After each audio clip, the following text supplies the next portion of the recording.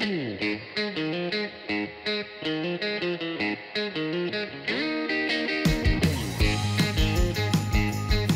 just gonna like try to be friends with everyone and then let them get to know me and then open myself up. In doing that, I got to really know um, Big Ang and Neil. Like they're so funny. But I could say Scott and Jackie's like my favorite couple.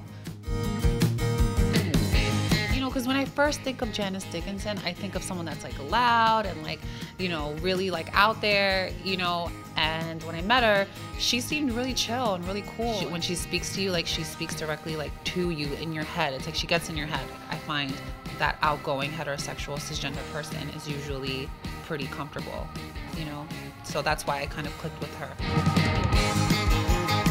it was funny because I, I knew that Joe didn't know, but when I was explaining my story to the doctors, I was trying to not look at Joe while we were filming. So then watching it back and seeing his reaction, he was totally like in shock and totally surprised and thrown off. Once we broke the ice, I feel like he got really comfortable. Like in the episodes to come, we had many conversations about like the ignorance in language and misgendering and mixing up like gay and trans. But that day, he was speaking to Kaylin and he said that he would like he wanted to tap this, you know, and I was like, wait a minute, what? But in the same conversation, he says, does that make Adrian gay because he's with Carmen who's trans?